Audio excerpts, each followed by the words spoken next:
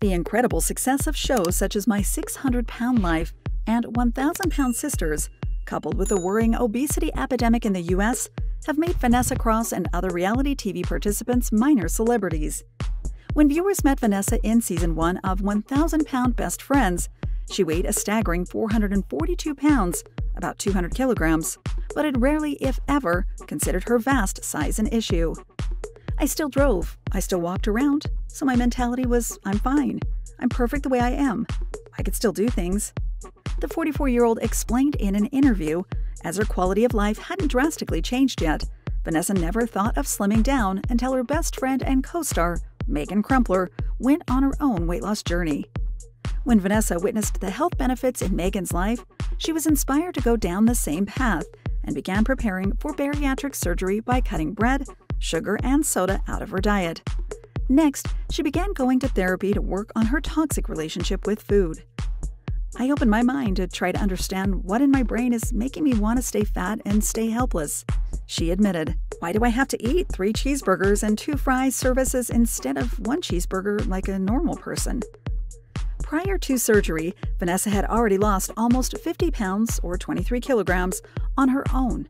The day of her weight loss surgery, she weighed 398 pounds and went on to lose 159 more, about 70 kilograms. Following her surgery, Vannessa had implemented plenty of changes into her diet and lifestyle, swapping fried food with fruits and vegan smoothies, and learning how to make healthy recipes with her children. In the past, Vannessa ate for comfort and pleasure. Now, however, she goes to the gym or on long walks whenever she's struck by a sudden craving I get my joy, my comfort, my anxiety levels down, everything from pushing myself more and more in the gym, she said. However, it took Vannessa a while to get where she is today. The first time she saw Dr. Proctor, she weighed 446 pounds, then lost 20 pounds between appointments. Encouraged by her progress, Dr. Proctor set Vannessa a goal weight of under 400 pounds to qualify for surgery. Six months later, Vannessa weighed 442 pounds at the follow up appointment and so was discouraged. Nevertheless, the TV personality was inspired to try harder, and her efforts paid off. From celebrating being able to wear a seatbelt again to regaining her confidence and spark, Vannessa had proved herself to be a positive role model with every step she takes in this challenging but rewarding journey. Throughout her adult life, the Georgia native weighed around 350 pounds. Her weight began fluctuating in 2016 after the death of her husband, as her life spiraled out of control. For the next few years, her weight often fluctuated up to 500 pounds as she used food to feel better about herself.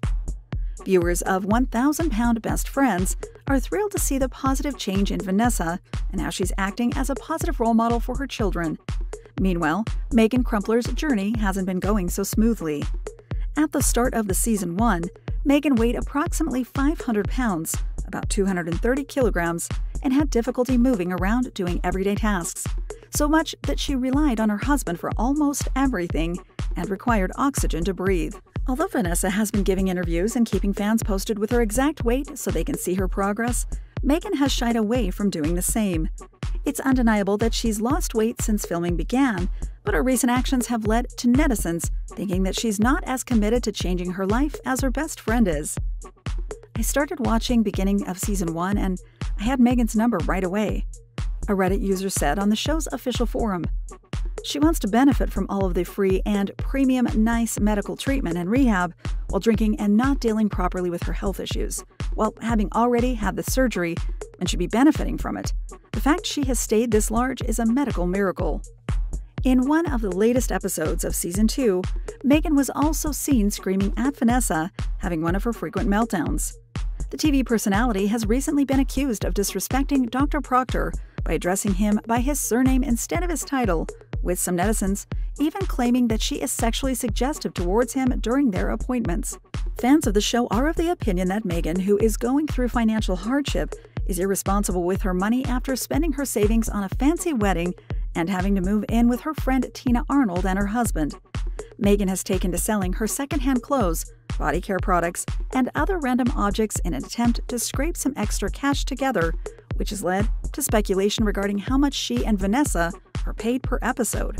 Not much is known about Meghan's friend Tina, but the Reddit subforum r 1000 pound best friends refers to the latter as a grifter after she started a GoFundMe campaign for her disabled daughter's apartment, then allegedly turned said apartment into a gym for herself and Meghan. Tina, who is also trying to lose weight, often features in the show and dramatically kicked Meghan out in one episode after a heated argument. However, the women are believed to be on good terms again, as Meghan is apparently still living with her and her husband. There's also the possibility that the show contains scripted screens, as viewers find it hard to believe that Meghan and her husband celebrated their honeymoon in Tina's bedroom. Whatever the case, Meghan's weight loss appears to have stalled dramatically in the last few months and her living situation is clearly an unstable one. For now, TLC has yet to confirm if there'll be a third season of 1000 Pound Best Friends. The season 2 premiere took place in early March 2023 and was viewed in around 500,000 households.